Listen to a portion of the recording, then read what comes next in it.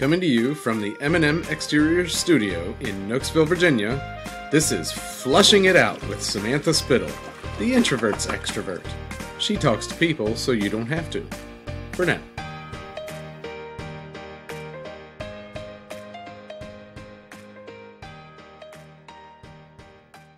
All right, welcome back to Flushing It Out with Samantha Spittle, the introvert's extrovert. I'm here with Tom Bigoski. Welcome, Tom. Good morning. How are you? Good Happy morning. Valentine's Day. Are Happy we allowed to say Valentine's we Day? We can. Yeah, this won't air until after Valentine's Day, but I think it's important for the listeners Good. to just really jump into the conversation with us and get a feel for this day. And so, happy Valentine's Day. I brought treats. you did? I did.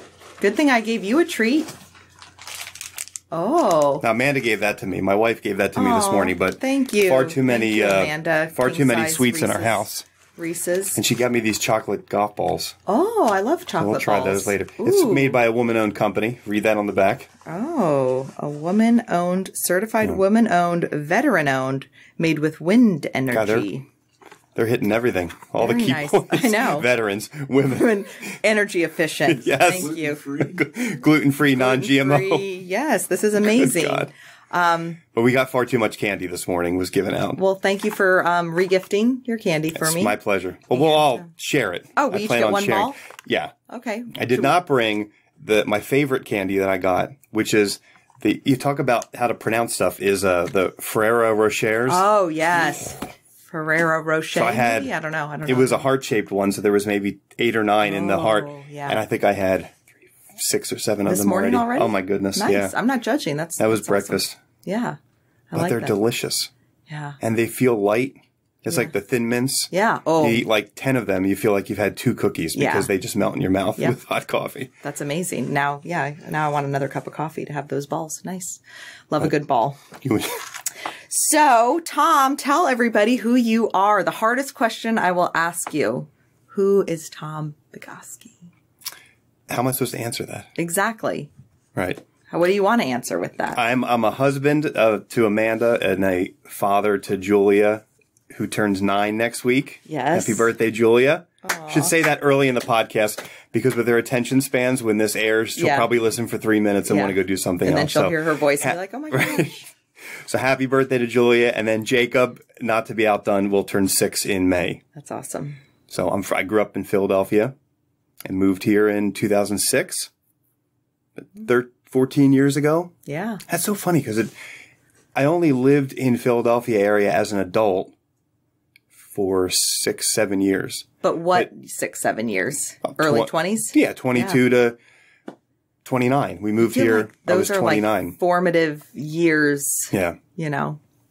but it seems funny. I mean, I'm, I'm finally probably after fourteen years. I'm at that point where I feel like Virginia is my hometown. Yeah, now? Oh, hometown, Yeah. really? Well, I mean, just I don't know how you define hometown. Like Yeah. where hometown is Yeah. where you're born, or I mean, I hate to be one of these military I- brats. so I'm an army brat. So for me, yeah, I don't have a hometown, but it's funny because Jersey for me, because I lived there through the high school and post college years, that just Mm-hmm. feels like, I feel like it's kind of where I grew up a little. And then it's kind of where I was first on my own. So it feels the most, that's maybe where I planted my single roots, maybe. And then of course, Virginia is now my like family roots. So, okay. So Tom, you are a father, a husband, and a business owner, correct? it's true. That is true. Yeah. So I moved here in 2006 to be a man, a sales manager for a company and then did that and actually couldn't stand that. When we moved here, I always remember I was certain that the job was going to be fine, but I was also certain I was going to get homesick and just miss the hometown. And, um, I mean, nothing, no offense to my family. it's always, I'm going to say this and then my dad's going to listen to this and be like, you don't miss me? You don't miss me. But we, I mean, I've grown, we love Northern Virginia. Yeah. Love the area.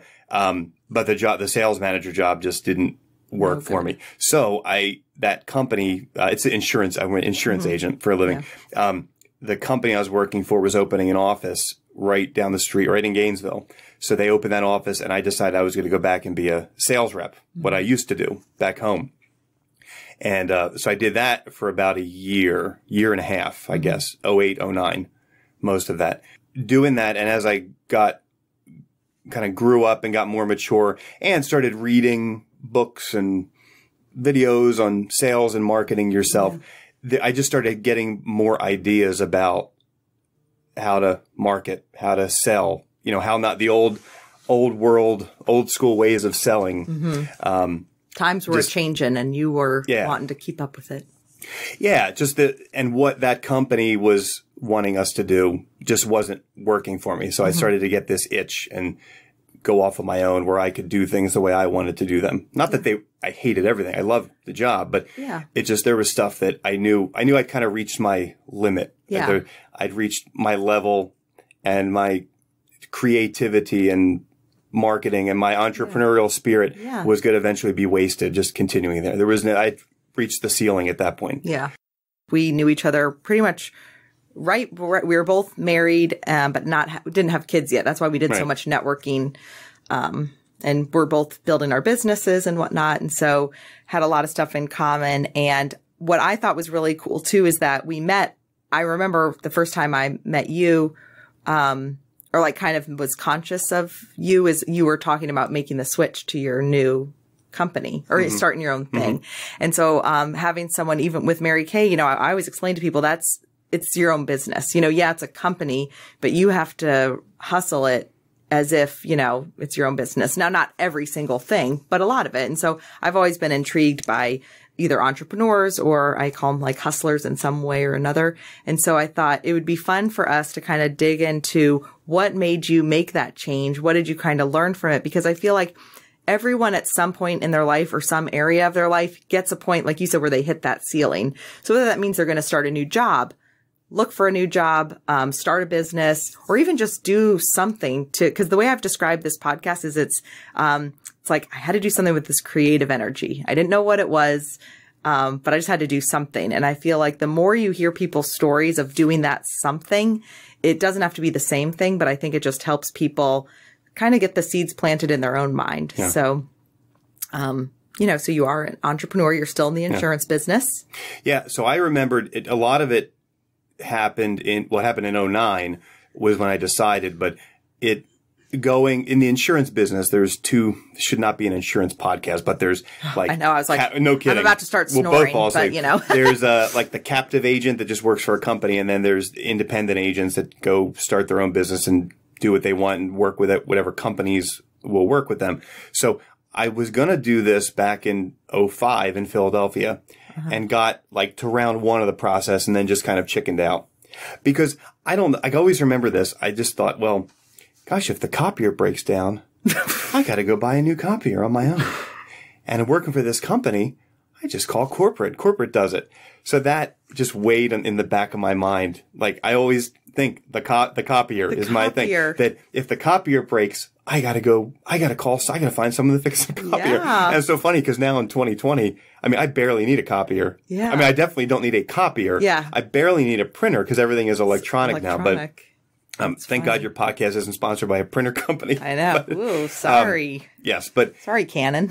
right, exactly. As I look at my thirty dollar printer we had to buy because ours broke and Yeah. we use it like three times a year. But yeah, But I started um, a lot of the marketing stuff because see, it's funny. I was talking to other small business owners before this podcast, uh, some that are in insurance as well, and I just said, "What what were the reasons you left?" And they all kept saying freedom and being able to control their hours.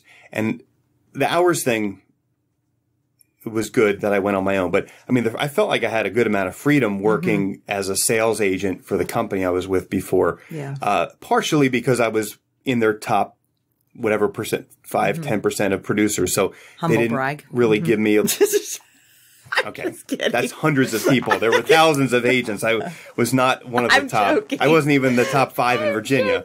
But and if you were, I would celebrate you. So I'd- I, I'd I was good enough. I was doing good enough. You're doing Um, great. That I got, you know, freedom to to leave if I needed to. But um, there was just for me, it was marketing, Mm. like self brand. Like it's funny, personal branding. I wrote down, and that was such a big deal. There's a sales author named Jeffrey Gitomer that wrote the Little Red Book of Selling. So go out, entrepreneurs, anybody, go Google his stuff. Say it one more time, so in case people. Jeffrey Gitomer, G I T O M E R, and uh, he wrote the Little Red Book of Selling, the Sales Bible, the Little Black Book of Connections, uh, which was a great book to read that didn't help me overcome my fear of going to these chamber events, Yeah. but he would talk about that. And Great. just the ideas I was picking up on how to br- personally brand myself. So brand Tom Bigoski, Mm-hmm. insurance agent, rather than big company logo with Tom Bigoski underneath Yeah. of it. And um, so, and it's funny because I talked to other people, like the one of the gyms I used to go to, one of the guys was leaving. And I'd remembered when I was talking about it, I just said, no matter where you go work, whether it's at this large gym or that large gym, you've got to start marketing yourself. Mm-hmm. Like you have to have an Instagram page, especially in fitness. Yeah. I mean, I, I'm in insurance. It's very hard to mm-hmm. be creative with insurance, but fitness, I said, you have to have, you can't be on the XYZ gym page doing stuff. You need mm-hmm. to get your own Instagram page and be branding yourself, either showing people how to do exercises because that you can carry on to the next company and the next job. And Yeah. similar really to any industry that you're in Yeah. is that brand yourself. And um, the litmus test I, that I came up with is if you're working, because I don't, I haven't hired any salespeople in my office yet. Yeah. But if I did, I'm constantly reminding myself that I, I can't I have to overcome this fear that if the, I let them be creative and brand themselves, that they'll go, they'll leave me in three years. Mm-hmm. And that's such a big fear, especially in the insurance industry. And I'm sure a lot of other industries as well, mm. any sales industry that, mm-hmm. well, gosh, if I, I'm going to say copier salesman after I just Yeah. ripped on copiers, but if Johnny, the copier salesman, if I let him brand it, if he leaves, he can take all that content with him. Mm-hmm. Well, I would argue to the business owner, the owner of the large business, that if your people, if your top producers are leaving, you're probably compensation isn't set up the way the way it necessarily should be. But I started getting that itch, and the company I was working for, um, as great as they were, because I really think highly of where I worked, um, they didn't let me. I wanted to change my business card and make it more creative, and they wouldn't let me do that. I wanted, actually did create my only experience with iMovie was making back in 09, making a customer testimonial video with six or seven customers talking about how much they liked me. And I would send it to prospects that were maybe on the fence or weren't sure this and that. And this is before Google. I mean, now Google is Yeah. great. I just email people. Oh yeah. people will ask, reviews. people will ask about like the insurance company that I'm writing them with and say, how good of a company? I said, well, you know, 80% of my customers are with this insurance company. So just go Google my agency and read my reviews. Mm-hmm. I said, if they're happy with me, they probably don't hate the insurance company they're with because I can't outdo a bad, I can't make up for bad service from the company that I'm working with. So, um, I, I made this YouTube video and the company that I was working for at the time as an employee, like made me take it down. Somebody found out about it. I Actually was a little sour on it because the person that made me take it down, I was, I knew him well enough from corporate and he, rather than just email me or call me, he went down the lat chain of command to the, this. So not only did I have to take it down, but he probably upset five managers down the line to get Yeah. to me. Uh, so that was the final, that was about the final straw. Um, and right, oh, right around that time, small detail, my mom died August of 09. Small Um, detail. yeah, she died August of 09. I'm sorry. kind of ex- expect, she was sick for six years. So, Yeah. um, but she died August of 09. And that was kind of that, you know, I don't remember thinking this exact thought, but we also didn't have children yet. Mm-hmm. And we were starting to think we were going to have children. Mm-hmm. So I kind of felt like I had a limited window Mm-hmm. because when you are a good producing person at a co- Mm-hmm. in a sales job and you leave that company, you go from making good money to zero money. Yeah. So I knew we knew that my wife was going to probably stay home uh, when we had kids. So then her income would go from pretty decent down to 0 So we, I knew I had a, a window. I had to do it. So that it it was just I kind of jumped in. Do you feel like is the the loss of your mom kind of just having that fr- frag- fr- fragility of life and kind of that emotional jolt give you the push? Yeah, it was the the YouTube thing, the business card idea. Mm-hmm. Um, I might have even, in fact, I did at the time wanted to get it. That's when the Facebook fan pages. Mm-hmm. Remember now you like a page. So Yeah. people like flushing it out with Samantha Spittle on Facebook, Thank you. Thanks for that um, plug. but at the time it was become a fan of. Yeah. And I wanted to make a fan page. I did. See, this is all coming to me. I wanted to make a fan page for Facebook for my agency and or for my for, For me you, as yeah. the employee of the company and they wouldn't let me. Which is funny because now all the agents at that company have pages whether they want them or not. They set them up. Yeah. Um, but the employee is not able to add content to it. yeah. So it's all this canned content from the insurance company, which doesn't Yeah. get, it solicits zero response or zero likes or anything like that. But that's what's hard is because it's con- them controlling their brand. So they Yeah. created their personal brand, and it's kind of similar. If you create, it, it's you talked before about how do you let your salespeople, if or when you hire them, how much creativity control, like. So your business cards, just to kind of loop everyone in, do can we talk about your style? So your style, because I remember when it came out, was a baseball card because you're a mm-hmm. big baseball card collector. And so I thought in my head, oh, like, would you want to brand your agency slash team sports? Like, would you want all of your agents to have base, like a baseball card or a sports card of some kind? But if I worked for you, um, I don't know if the listeners know this, but I am not an athlete. So a sports card probably wouldn't be on brand for me. right. So would I go in a different direction or would you want to keep it? You and, go in a different direction. and you would be cool with that because you're not oh, bringing Oh, I would- agency around. Yeah. it. As a business owner, I think I would want to approve it, but, or review it, but See, but but, it gets would- hard when you think of how big these companies are, and then if everyone's running off doing their yeah. own thing, Oh, it's agreed. so, yeah. so hard. Well, which is why I said earlier, I don't have any, a lot of negative thoughts about Yeah. the company I work for. I mean, they were great. They were great. When my mom died, they were phenomenal Yeah, with taking time. They, the vice president who I Mm-hmm. barely thought knew me, like there was flowers at the funeral from him Oh, Yeah. and the, and the management team at that company. My manager drove to Philadelphia Wow. to come to the viewing. So I, I have good know- thoughts about that. You know what I like about this though, because I love here. I'm glad to hear that they were so good because I always tell people too with Mary Kay, I had a great experience with it. I never, it's never negative. Like I'm leaning more into this now and some other fun things. Um, all good things. What I like focusing on and kind of asking you about some of that is because it kind of shows how it's about you. Like that you didn't leave the company because of something the company did. It was that there was something in you that you needed to pursue. And just like I feel like you grow up, you know, you hear if someone if you don't like the way someone treats you, it's or something. It's like it's not about them, it's about you. Or the or, or no, I'm sorry, the way they're treating you is about says more about them than you. Right. Yada yada. It's kind of similar with like, oh, this is universal in all of life. That you know, if you are feeling unhappy with your job situation, kind of take a look at yourself and say it might not be the company, you might not be the best fit anymore. yeah, sometimes they'll do you doing. the biggest favor of your life Yeah. by, by saying no to something. Yep. Exactly. So yeah, I mean, it's not like they were letting all the other employees do stuff and they just decided to say no to me about Mm-hmm. Yeah. doing stuff. But you got to the point where it was more important for you to kind of run with this creative energy, for lack of a better way to describe it. That's cool. I think that that's a neat thing to, that might get brushed over, you know, because Yeah. people think that's the thing. When you ask people, why did you start your own business? Money and freedom, time usually seems to be, they, people think they can make more money or that they can control their schedules more.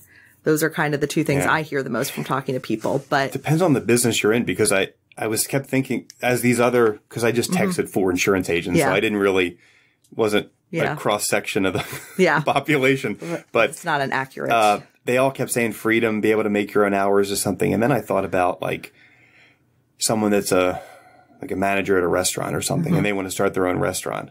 Well, goodness, Mm-hmm. Oh your gosh. hours are, yeah, your hours are, it, it would get harder. Mm-hmm. And initially, that's another thing. When I started, I did work a lot of hours and I've just been able to scale it back a little bit. Not that I don't work, but it's great. Like I was able to scale it back and Mm-hmm. like we're, I'm home for dinner mostly every night. yeah. Like I'm home to have dinner. The four of us eat dinner together. So, and we, And isn't that crazy though that you're like proud of that, which I am, I'm not, I don't say this in a mocking way at all. Right. That that's what's kind of sad with the state that we're in right now, like of the, and not just now, like for a long time, that it's like, that you are proud to have dinner most nights. It's like, Yeah. oh man, why aren't we doing that every night? And yeah, well, I mean, it's not a reality for everyone, so I want to like. Well, you're right, and that's that. and I so- always stop because I um the so the my, my son's preschool I uh, that Julia used to go to. I would, I'm very, you know, I'm present there. I probably was more, I get guilty sometimes. I think I was more present when Julia. It's like that with your first. You're like more involved and then you're over yeah. it. And I'd remembered the, uh, some of the teacher, the, the woman that runs the school, they, you're, you're such a good dad. You're such a good dad. And I always was uncomfortable with that. Like, you're the best dad ever. You're at all these events. And I was so uncomfortable with that because Yeah. I, me being there doesn't make me a good dad because we have a lot, all of us in this room have a lot of friends that drive to the Pentagon Mm-hmm. Yeah, every day. for sure. There's one friend of mine in particular drives to the Pentagon every day and he's out of his house at 5.30 in the morning Mm-hmm. Yep. to get on the bus or the Yep. train or this and that. And then he's getting home at seven. Another friend Yeah. comes to mind that lives down, works down near the Navy Yard Yeah. and it's like out at five. And one, he told me once, he said that when the kids go to bed sometimes on Sunday night and I put them to bed, he's like, sometimes I don't see them again until Saturday morning because he gets home at 8.30. So Yeah. it doesn't make him a bad dad. Not at all, I'm sure if he could do the same job in Gainesville. Yep. I mean, it's like you count your blessings and my, the, one of the Mm-hmm. top two or three. And one of the reasons that we love Northern Virginia so much Mm-hmm. is the biggest problem with Northern Virginia that everyone complains about is commuting and traffic. And we have been sheltered from that. Mm-hmm. We don't, I've not, with kids, I've never had a commute in my life. It's like Gainesville, Haymarket, back and forth. Yeah.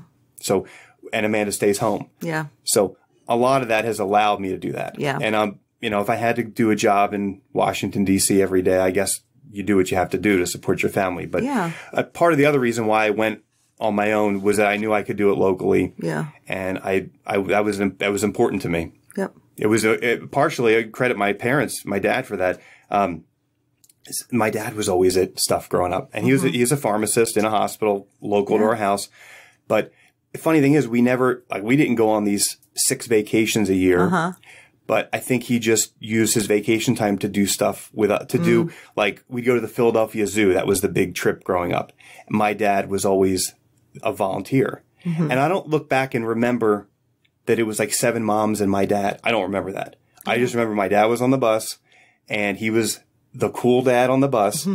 he would like, we would look for stuff. We would play, you know, like the games you play when you're on the road Yeah. that he was leading that. And that, and I've kind of got that's, you know, I get a lot of stuff from my dad.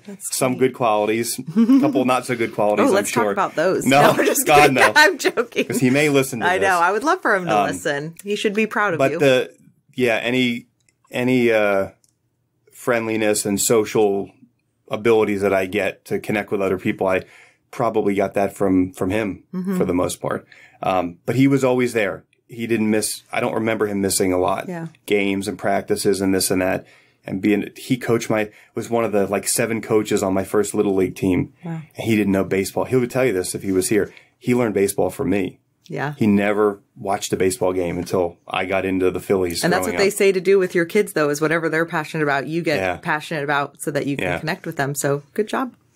I've gotten Dad. very passionate about Paw Patrol. Paw Patrol. oh, uh oh. and that was out of my memory. I haven't heard And, that one in a um, few years. Oh gosh, who's that girl that sells the head? Uh, Jojo Jojo, Siwa. Siwa. I've gotten very passionate about Jojo. Yeah, Jeremy doesn't know, but I know. I know. Yeah, I um I'm glad you brought that up though because that's why I just I love going back to everyone's journey is different and you know you do what's best for you like for everyone it's different and kind of not wanting to put someone else down for recognizing someone else but you know kind of finding what works for you and um you know leaning into that so I think that's neat. So this personal branding as we wrap up personal branding what so for people that might not know or they're intrigued by what you're saying how can you kind of give a quick overview so you talked about wanting to make your own cards and things like that what's the point of personal branding Well, it tells people when people think. So when people think of Wegmans, talk about Mm-hmm. Wegmans. Like, what are the first two or three things that come to mind? And that's Weg. That, in my opinion, is Wegmans brand. Mm-hmm. And personal brand would be when people think of you. Mm-hmm. Now, there's people thinking of you as a person, but then, like, what do people think of when they think of Tom, the insurance agent? Mm-hmm. And that's what your personal brand is. So I want people to, when they think of Tom Bigoski, the insurance agent, Mm-hmm.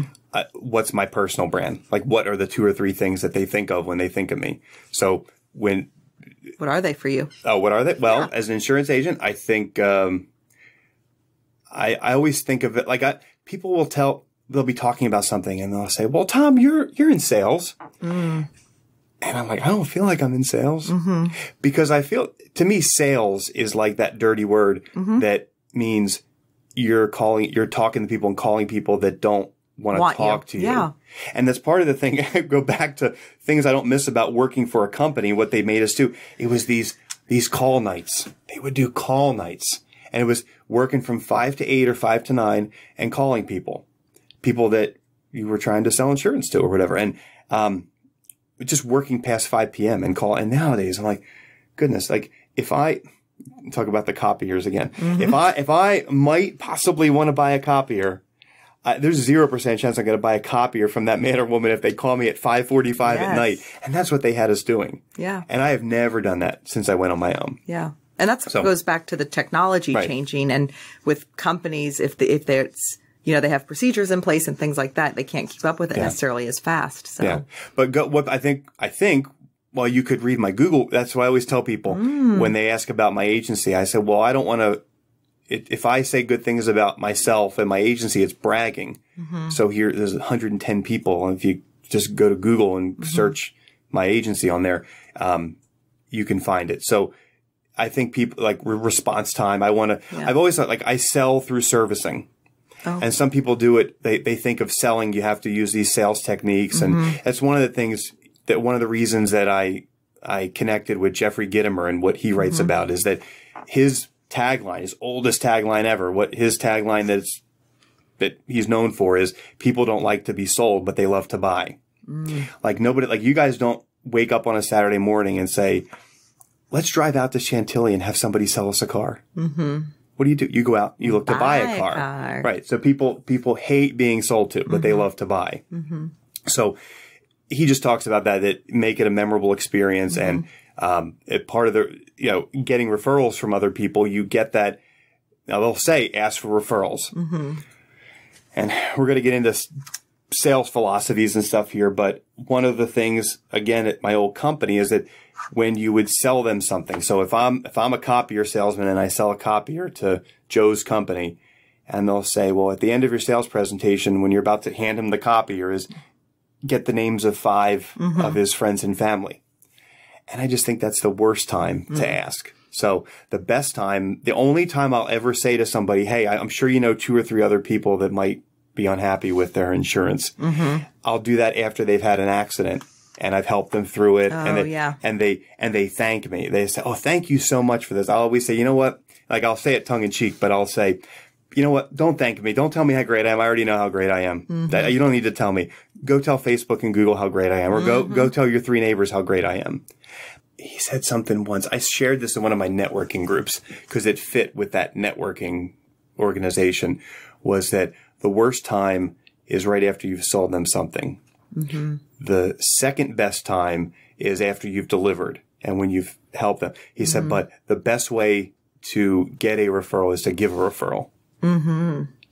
And I started thinking about that because in, in my industry, like, mortgage people and realtors are very, very good sources of referrals to me. Mm-hmm. And like insurance agents, all we do, and I've done this before, all we do, we drop off coffee and donuts. Mm-hmm. Well, if you know anybody, send my way. Yeah.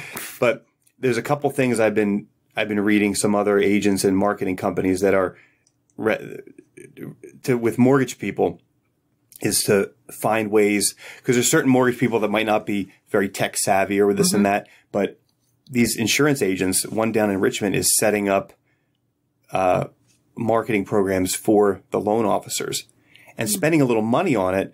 And it's generating, it's filling the funnel to these mortgage people. So imagine like two insurance people are walking in the door to Samantha's mortgage company and one guy has donuts and the other guy says, Hey, do you mind if I, if I, if, if, uh, automatically you get five emails a week of people that are interested in mortgages? Like, and the only thing I ask is that in exchange, you just refer them back to me for the insurance part once Yeah. they get a loan with you. I mean, as long as they're not the trashiest referrals or leads in the world, I mean, you're gonna you're gonna throw those donuts in the trash. Yeah. I mean, who needs? You can, can buy your own donuts. True. That's interesting. Well, I was just thinking about that. Like, I was thinking about who the leads were, yada, yada. I was like going off on a, a little side binge.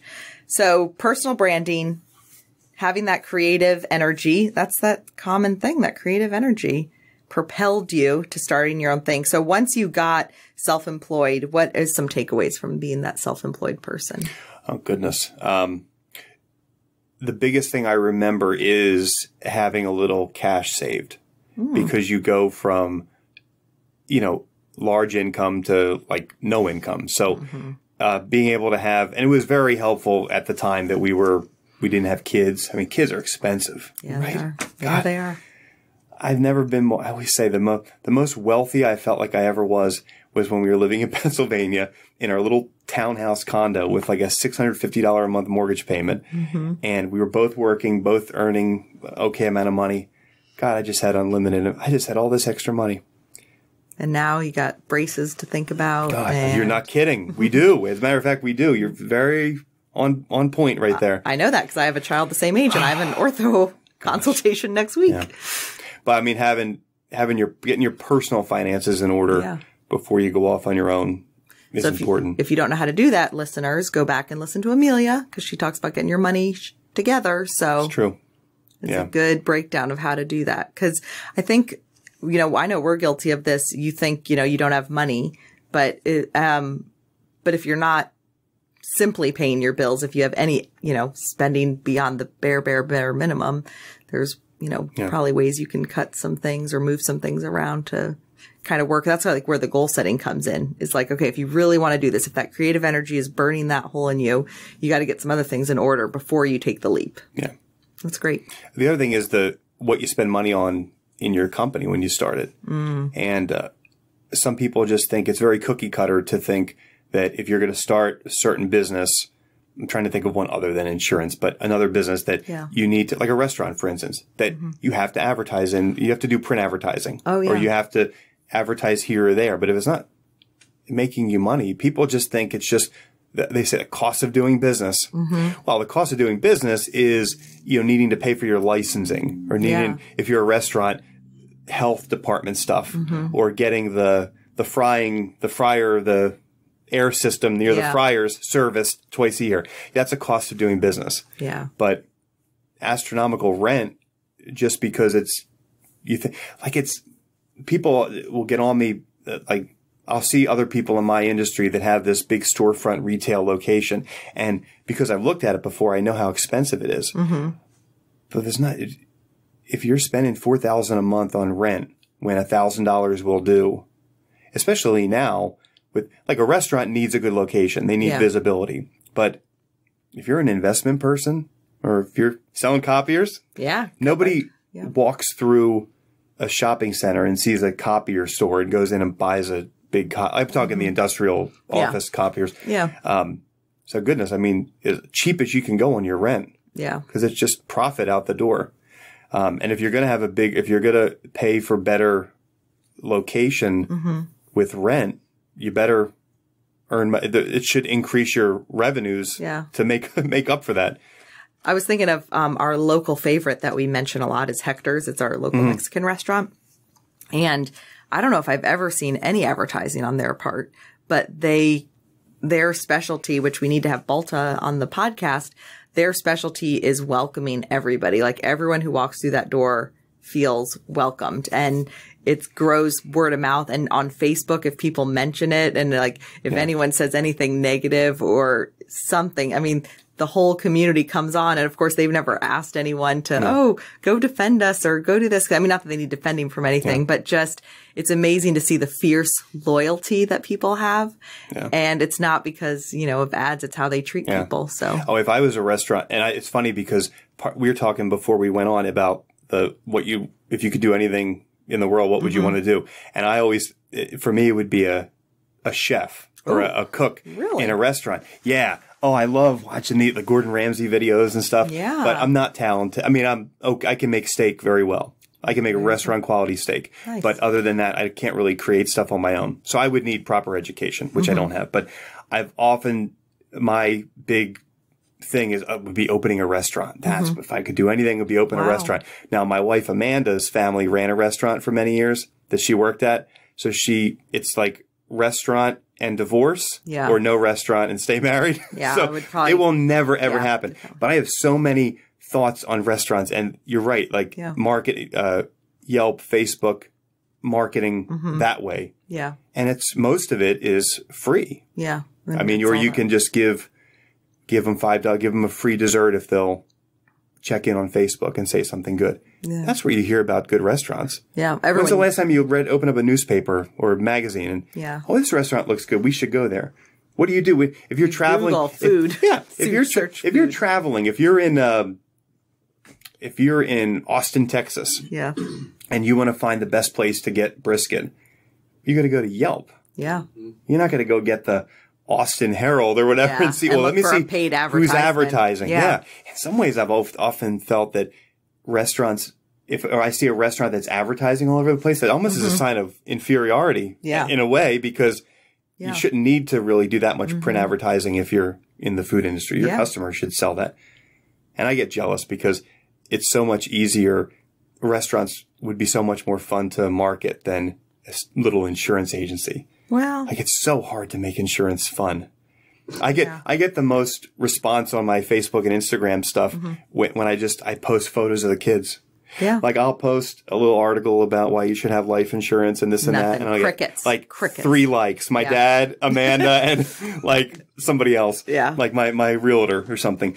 But then I'll post a picture like the other night on Facebook of uh, my of Jacob, and he found my name badge, my the magnetic name Yeah. badge that I wear sometimes, and he put it on. I took a cute picture of him, and I, I said like. Uh, click like if you would buy insurance from this Aw. guy, and it's Boom. like eighty people. Yeah, yeah. so using your kids more. Yeah. a Oh, good good, tip. Good tip. If you've Yeah, got kids, If you start a business, have kids right after that because you're gonna that one year after you're done selling to your friends and family, you're gonna need some extra marketing. yeah. I think we talked about this at our lunch. Is that when I left the manager job at the company Mm-hmm. and went back to be an agent for the company. When I started my own agency, I wasn't really that scared because Mm-hmm. we had a little bit of money to live on and I knew how to do it. I would just, I felt like I had grown intellectually and entrepreneurially. Mm-hmm. Yeah. But when I left the manager job to go back and sell, that if I was ever scared, that was the time I was scared. Mm. Because I actually remember thinking then, if it, that this might not work out, we might end up just moving back to Pennsylvania. Not that that was like a punitive thing, moving back Yeah, to Pennsylvania, at but because for the one year as a manager, I did, that was the one time I did have to experience the, the work, the bad commuting because I Mm. had to drive to all these offices and I was just leaving the house at 6.30 in the morning and getting home late, but we didn't have kids and it Mm-hmm. was like, Amanda would eat on her own, or we would just eat at eight thirty, and like Mm-hmm. life didn't. It was more flexible back then. Um, but that would have been when I was scared because we didn't know anybody. Yeah. I went back to be this salesperson in this office, and you, you should not rely exclusively on people you know. You got to get out and meet other Yeah. people. But I knew nobody. Mm-hmm. In two, 2008, when I went back to be an agent, we had like three friends Yeah. that we had just met through our neighborhood, and that was it. Yep. So what so that's really interesting because so many people like you said you can't build a business on family and friends and I think that that's one of those false senses of security is when people do have that. So what gave you the push you needed like to feel the fear and do it anyway? To leave the manager job, I hated it that much. It was it oh was- my goodness. It, It, was, the most miserable year of my life. Yeah. Most miserable year of my life was 2007 for, for a lot of reasons, but I, Hmm. Yeah. it, it was just, it was brutal. It, they, I had more freedom as a salesperson for that company than I did as a manager. For sure. Yeah. Part of the reason was, and he'll, he won't hear this podcast, so I, don't, I won't say, I'm not going to say a name, but the manager that hired me to move to Virginia, yeah. He had just gotten promoted. He was my boss. Mm-hmm. He got promoted from the job I got. Okay. So all these people that were now reporting to me used to report to him. Mm-hmm.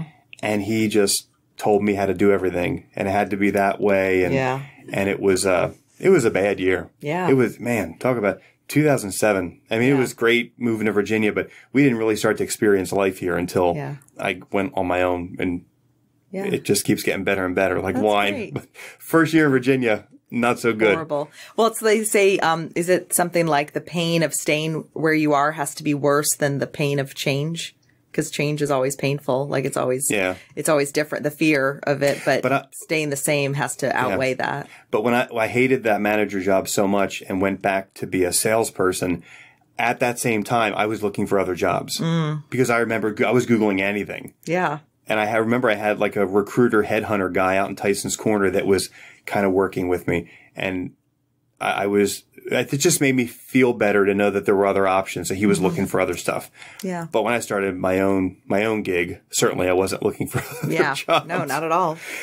So Tom, if someone wants to make the change, wants to go out on their own, wants to do more within the position they're in or pursue a dream, what would be your like advice to run with it?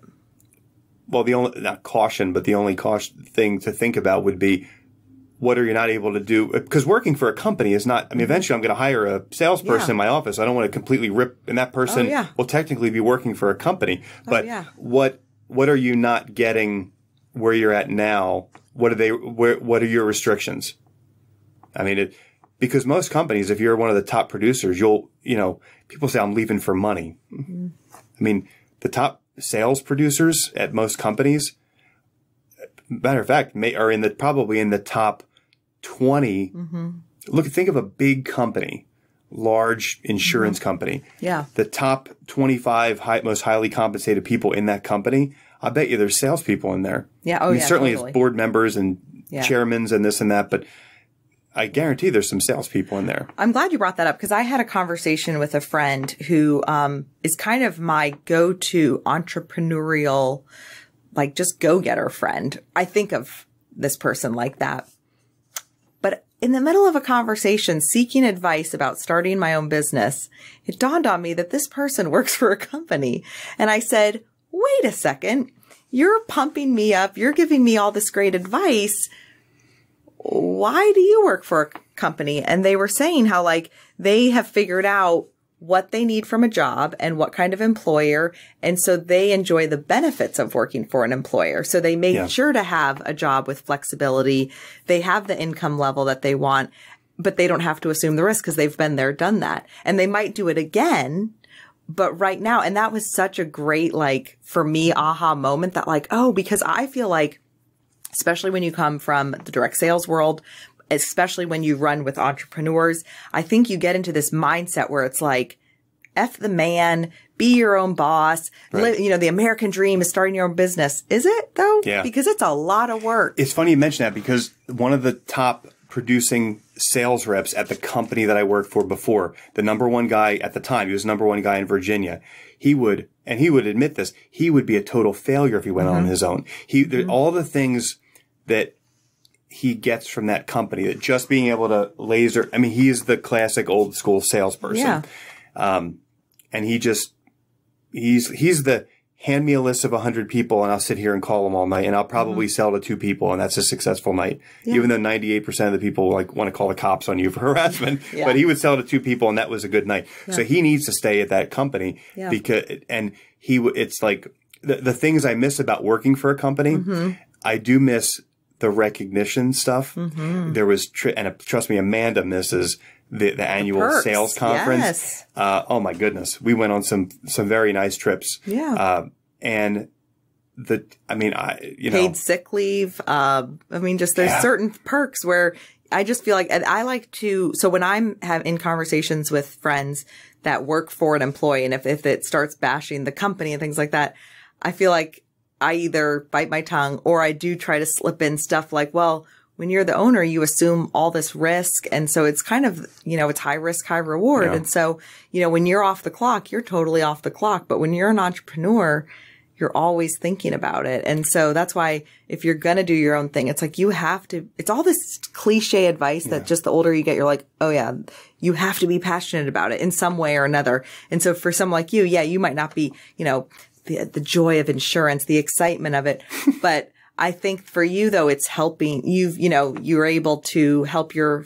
clients and help your family. So it kind of ties in with who you are as a person Yeah. that you want to service them. You want to have quick, quick response time, you know, those things. So like there's aspects of the Yeah. business that fit. yeah, I don't remember what it was like to be able to shut things off. Mm-hmm. But it's good. I mean, like I said before, we don't like I don't check my phone while we're eating dinner. Yeah. But most nights I'm doing stuff from eight to nine, little Mm-hmm. catch up stuff.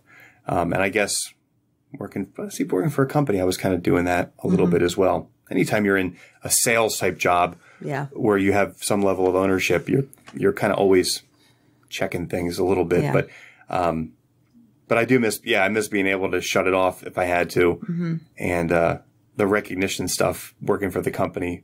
Yeah. You'd win something or you'd hit some goal or something and everyone was rah rah on you. And now like nobody gives a crap. Yep. Like, That's why you need your entrepreneur friends though that, Yeah. that rally around you and can yeah, but even that, you. nobody really announces it though. You don't announce it for yourself. You know, like I set a record this month that I made the most sales or I grew the most. And- Look, Jeremy, Right, I'll thank give you, you, Jeremy. standing ovation from Jeremy. Slow clapping it up. No, I'm glad we I'm glad we wrapped it up with that because I love motivation and you read all these books and watch the videos and do all the rah rah go go go stuff. But for me personally, you know, with when my kids were born, I wanted to stay home with them and I thought I was going to do it all. I thought I was going to be like the successful businesswoman, but still a stay at home mom and da da da. And then Riley was born and she cried all the time and I didn't set up childcare. And so it became harder to figure out what I was going to do. And, and then I just realized like, oh, I, I kind of, I don't want to work. Like, and I, and we were, I was blessed, that, thankful that we were able to have me stay home. And I just, I felt guilty for a long time. Like a lot of years, I beat myself up. And I think I still even get into that trap where I, you know, I, my tape's playing where, you know, I'm a failure because I couldn't do this and that and whatnot. And I had to just kind of reframe my mind that, you know, there's a, that motivation and hustling and all that stuff is good, but that's not the point of life. Like, what are we honestly living for? Hmm. And does it meet your life goals and not just the money goals, but, you know, I mean, for me, it would be like your faith goals or your just what's the point of life type of thing. And I don't know. I think I just got wrapped up in just looking only at the successes. What is success? And Yeah. if, if you look at it in purely a business world or hustling or making your own, you know, I just feel like you, Yeah. you can, you get bombarded with those messages that, Oh, the good. This probably ties into what you and Amelia talked about as well. If you if you live well below your means, that you don't you don't have to define success by how much money you make. Mm-hmm. I mean, you can define the success by how many people you've helped. Or, I mean, I'm much more happy to read when I get like a Google review or a Facebook review that's Yeah. positive. I mean, I like that because it's hopefully others will see it and it'll Yeah. generate more referrals and more Yeah. more phone calls and stuff. But um, yeah, I mean, I don't I don't get jazzed up like to see a, a commission check come in yeah, nearly as it's so weird to say this nearly as much as uh, Joe G just left you a review on Google. Really, really? I'm like, I, oh, I want to see that. I want to read this. And then you're like, yeah, Yeah. that's because that's your form of recognition. Yeah. That's your only like, yay. I'm waiting for a one star. Oh, Yeah, oh, haven't gotten any yet, and I have cust- a few people that don't care for me that I've had experiences with, but um, yeah, I haven't had any. Gosh, I, it's one of the bad. If I had did run a restaurant, because restaurants have Yeah. it tough because they'll get bad reviews. Yeah. I told a fri friends of mine that run a restaurant. I gave them advice. I never sent them a bill for this advice either, but so kind of you. right, should So have. kind. I should have. Tom's Consulting LLC uh, is that they were getting the one star review, a couple one star reviews, and they're they're going to defend each one of them, saying Mm-hmm. that this person doesn't know what they're talking about and this and that. So they put up a, a sign. I said, what you have to do is you have to drown out the one star with more five stars. Yeah. So get more five stars in there. And they put on their chalkboard when you walk in, it's still there. Is if you had a great experience, uh, you know, please shout about us on Yelp and Facebook. And they said, if your experience wasn't up to par, I said, put your personal cell phone number on there. I said, no one's going to call you. I a "Ma- you know, but, um, they're one star. Well, they get for that result of that, they got more five stars. They're Yeah. getting more reviews. Great. They still get some one stars, I'm sure, Yeah, but but, you're always, you're never going to make yeah. everyone happy. I mean, like you said, you have to drown out. And that's great life advice for us. It's like you have to drown out the negativity with Yeah. so much positivity so that Yeah. you can't hear that negativity. it, a whole other podcast on how to deal with one star reviews. oh, good. I'm so lucky because I've never gotten Yeah. one yet. yeah. I'm almost hoping for one. Own it. That would Yeah. be my thing. You have to own it. Well, yeah, like yes, it, but there, that's for is- another day. That's another day. There are two ways to handle one star reviews, and most people do the wrong, totally the wrong. thing. Are you going to make it a teaser or are you going to share it before we say goodbye? Oh, we can talk about it. We'll talk about it Oh. on the after show. We'll talk about it on the after show. Tom, thank you so much for coming. If people want to continue a conversation with you, how can they find you? www.bigoski, B-I-G-O-S-K-I B-I-G-O-S-K-I dot com, or just Google Bigoski. So I'm the only, I'm in a small family and I'm the only one that's apparently online. So you might Nice. see some of my brother's stuff if you Google Bigoski, but uh, if you just Google Bigoski, it'll start pulling my stuff up. All right, awesome. Thank you, Tom. My pleasure.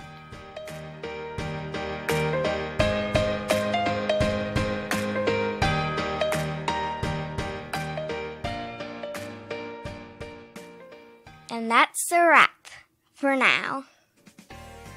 Thanks for listening to Flushing It Out with Samantha Spittle. Music provided by twinmusicom.org. Song titled Night at the Dance Hall. Sound editing by me, Jeremy Spittle. A special thanks to our studio sponsor, M&M Exteriors. Visit their website at mmexteriors.com for all of your roofing, siding, and gutter needs in the Northern Virginia area. Visit our website at flushingitout.com and be sure to subscribe. This has been a Spitfire production. That was the greatest thing I've ever heard. Don't forget to check out the after show on the Full Flush bonus episode, where Samantha and I continue the conversation with our guest. You can find the Full Flush episode right here on Flushing It Out every Friday.